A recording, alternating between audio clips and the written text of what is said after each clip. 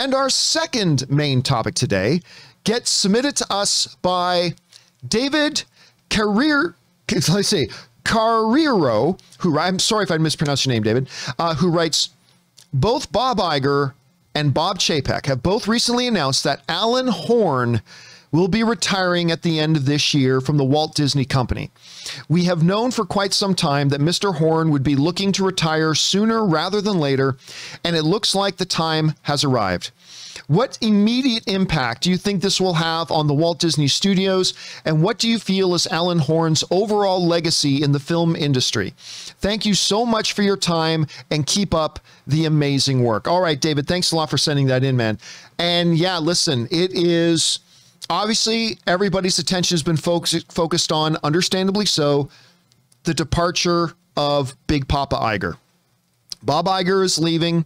Uh, I think he leaves at the end of the year. Uh, so I thought he left a long time ago. No, no, no, no. He's still the chairman of the board. It's just that he handed off the CEO title to Bob Chapek, who has, in my opinion, not been doing a very stellar job so far. But, you know, Bob Iger has remained there during a transition period, and now he's going to be out. But what we haven't been talking enough about is the impending leaving of Alan Horn. And now it's been made official. Alan Horn is leaving. Now, for those of you who may not know, Alan Horn, while Bob Iger is the head of all Disney, right?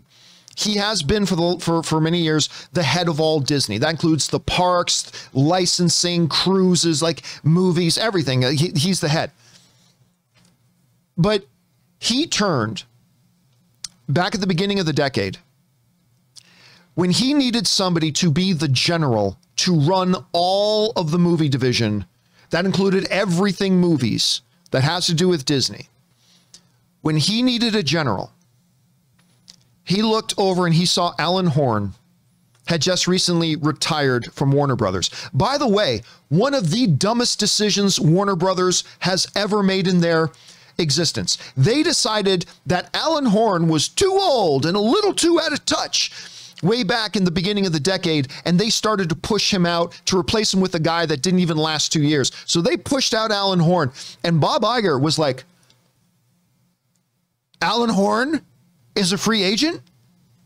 Alan Horn, I mean, he was getting ready for his retirement, going to go onto the beaches of Cabo San Luca and sip Mai Tais and ride surfboard, practice his katas. He's a black, Alan Horn's a black belt in karate. He was on the cover of Black Belt magazine, as a matter of fact. He was going to do all that kind of stuff on the beach. Alan Horn or Bob Iger rubbed his eyes and say, wait a minute, this is too good to be true. This is too good to be true. Alan Horn's available. Alan Horn's a free agent. He got on the phone, called up Alan Horn, and said, Alan, don't get too comfortable on that beach, my friend. Don't wax up that surfboard too much. Put down that fourth Mai Tai, my friend. I need you at Disney. And I need you to be our general. I need you to run all of our movie division. I need we got so many different studios under Disney and we're only adding more. And we need a guy who can be the shepherd of all of it, who can be the creative visionary for all of our movies, who can guide us and steer Disney Pictures and all of our other studios into the upcoming decade. I know you're looking forward to retirement, but I need you here, buddy. So Alan Horn, Alan Horn answered the call. He said, I hear you, Big Papa Iger. I'll come, I'll run Disney, and I'll take it into the promised land. Biggest regret of Warner Brothers executive level in their history, letting Alan Horn go. And what did Alan Horn do? He came over to Disney and ushered in arguably the most successful run in the history of Hollywood of any movie exec. That's all he did. That's all he did.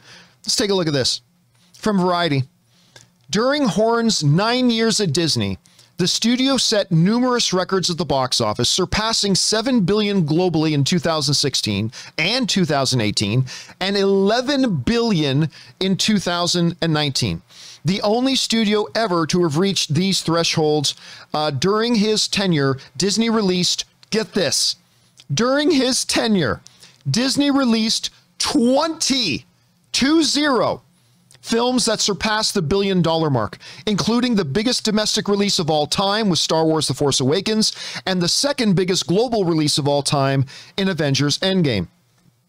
The article goes on to say prior to joining Disney, Horn held key leadership roles at prominent studios since starting his career in entertainment in 1973 at NBC's That's when I was born. Um, at Embassy Communications. In 1987, he co founded Castle Rock Entertainment, which he led as chairman until 1999 when he joined Warner Brothers, where he served as president and chief operating officer until 2011. In these roles, he was involved with Batman Begins, the Harry Potter series, as well as The Departed, Million Dollar Baby, Shawshank Redemption, When Harry Met Sally Seinfeld, and the list goes on and on and on and on. He came over to Disney. He took the reins of that entire movie division. He was the boss of Kevin Feige, of Kathleen Kennedy, of John Lasseter until he wasn't there. Now Peter Docter, and all the heads of all the different studios. He was their boss. He was their leader. He was the one who gave them inspiration when you go back and look at old articles of Kevin Feige talking about working with Alan Horn, it's it's a lot more glowing than when he's talking about Bob Chapek and say, yeah, Bob Chapek's a nice guy. He's a real guy. No, no, no. Go back and read how Kevin Feige talks about Alan Horn. Alan Bergman, who's going to be, who is succeeding Alan Horn there, talks about that. Alan Horn is the most important mentor he's ever had in his career. Now, back in 2019, Alan Horn began his transition out. So he became co-chairman with Alan Bergman. Basically, he's he had been mentoring Alan Bergman to be the one to take the reins. I thought for a long time they were going to groom Kevin Feige to do that, but all along Alan Horn was grooming Alan Bergman to be in that role. So in 2019, Alan Horn began his transition by becoming co-chairman and now announcing that is of course stepping away.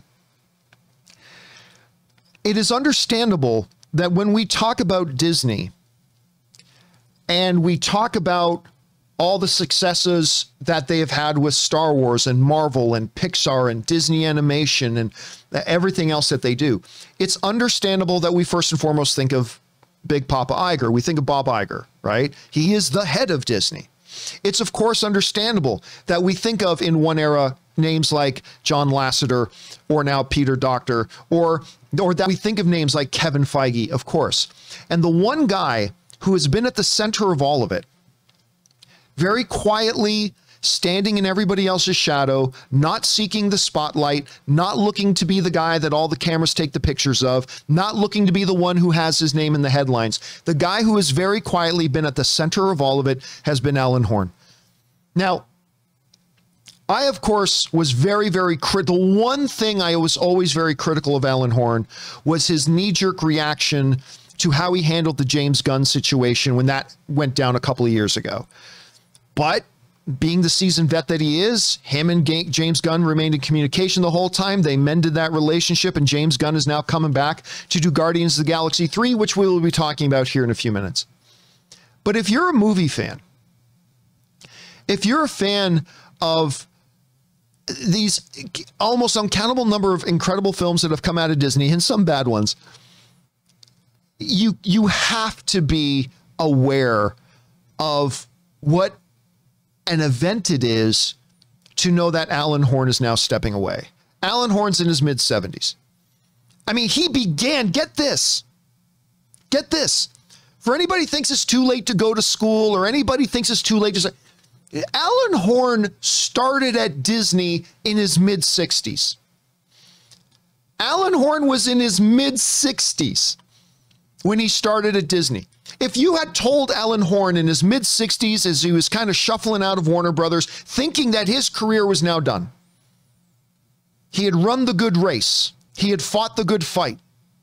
He had accomplished a lot in his career. But if you had told Alan Horn that the in his mid 60s, as he was packing up his desk, putting all of his little Funko Pops and whatever in the box to carry out of Warner Brothers, if you had told them, oh, by the way, Alan, who's, you know, turning 64, 65 at that time, you were only about to embark on the biggest, most significant successes of your career that's going to immortalize you in this business. He probably would have said you were crazy. In his mid 60s, he went over to Disney and did the work that would ultimately be the work that will define him and his career.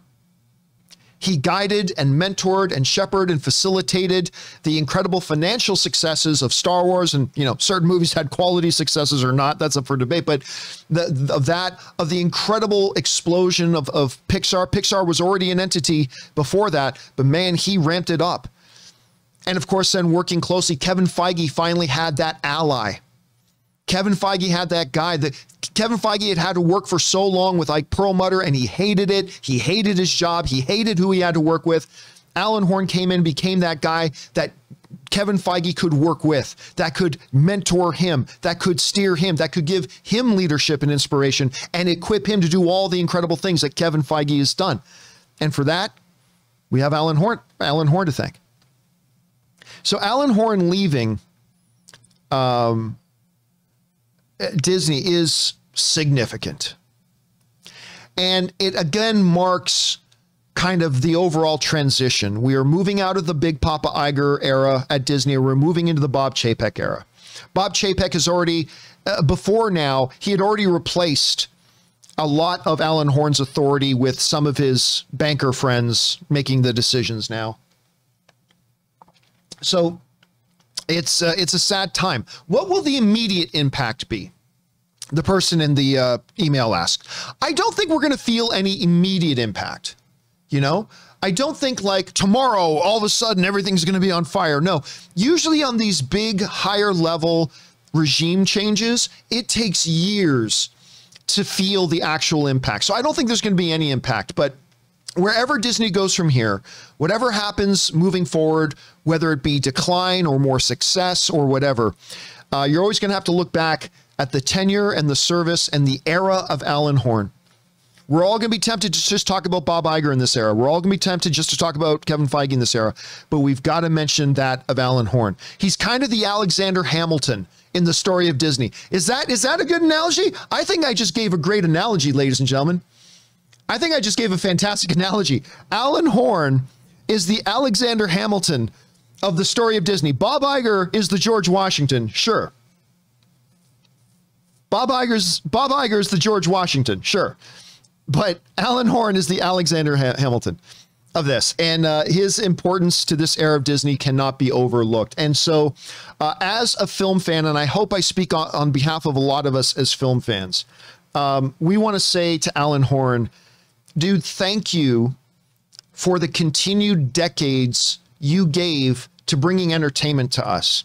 Thank you for setting a model that even in your mid 60s, you knew your best work was just about to start. Thank you for your role in delivering some of the most memorable, fun, entertaining, and enjoyable and, and bonding experiences that you've put up on the screen for us as fans. And Alan Horn, we all hope you have a wonderful retirement, dude. You have more than earned it. This is your second time trying to hit that beach, dude. And all of us in the fan community, we just want to say to you, thank you. If we were a WWE auditorium right now, we'd be chanting, thank you, Alan. Thank you, Alan. That's what we should be doing as film fans right now. So thank you very much, Alan. And uh, we hope all the best for you. And uh, man, I hope Disney doesn't burn to the ground after you and Big Pop Iger leave. Anyway, guys, question is for you. What do you think about this new development? This is not surprising. Alan Horn is stepping down and retiring, going into retirement again. We wish him all the best. Whatever you guys are thinking about this, jump on down into the comment section below and let us know your thoughts.